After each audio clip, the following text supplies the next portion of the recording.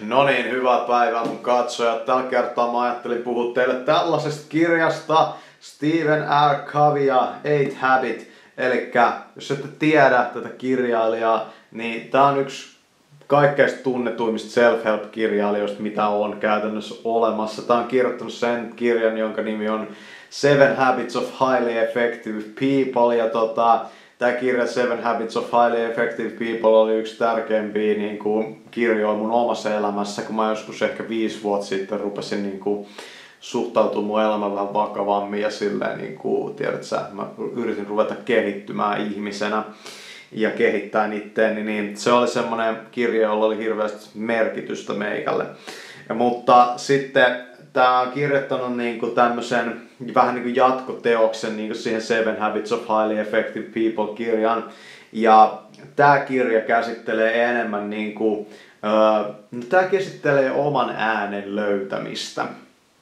Ja tota, uh, tämä on aika mielenkiin, mielenkiintoinen tavallaan niin kuin juttu. Täällä on tämmöisiä chaptereita, esimerkiksi Discover Your Voice ja Express Your Voice.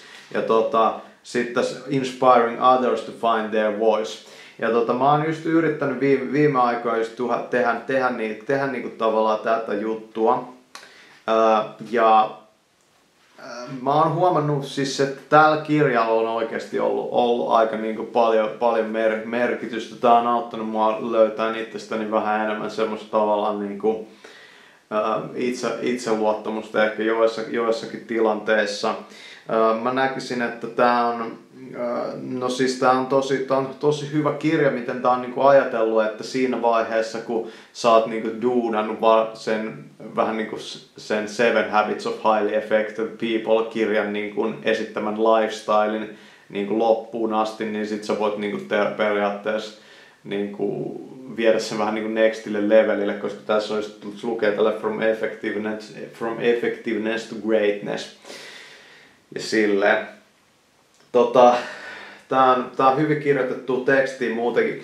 Muutenkin tää tyyppi, tyyppihän on ilmeisesti jo tässä vaiheessa kuollut, kuollut mutta, mutta tota, Tämä on hyvin, kirjo, hyvin kirjoitettu teksti, teksti muutenkin. Tämä käsittelee jonkun, jo, jonkun verran kanssa niin kuin, jonkun verran kanssa tämmöisiä tavallaan työympäristöjä, ehkä niin kuin eroja, mutta tässä ei ole hirveästi semmoisia case-esimerkkejä. Ähm, ja sille ja sitten käsittelee myös ylipäätänsä, ylipäätänsä johta, johtajuutta jonkun verran.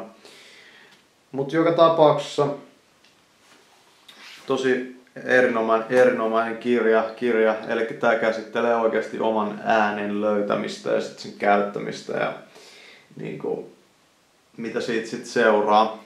Eli tämä on vähän niin kuin, tämä on semmoinen jatkoteos, jatkoteos siihen tota, Seven Habits of Highly Effective People. Ja se on semmoinen, se on semmoinen kirja, jonka te voitte kuunnella ilmaiseksi YouTubesta äänikirjana. Seven Habits of Highly Effective People, tätä sieltä ei löydy, mutta, mutta tota, mä sanoisin, mä sanoisin että eka kannattaa, eka kannattaa niinku tavallaan sisäistää se kaikki, mitä siinä kirjassa puhutaan. Se on hirveän niinku powerful niinku, uh, juttua sinänsä, sinänsä että silleen.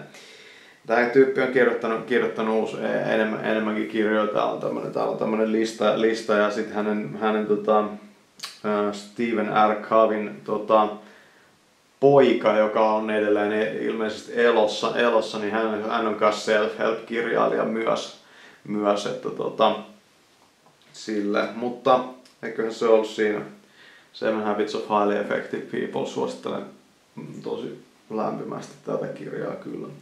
Kiitos, että katselit.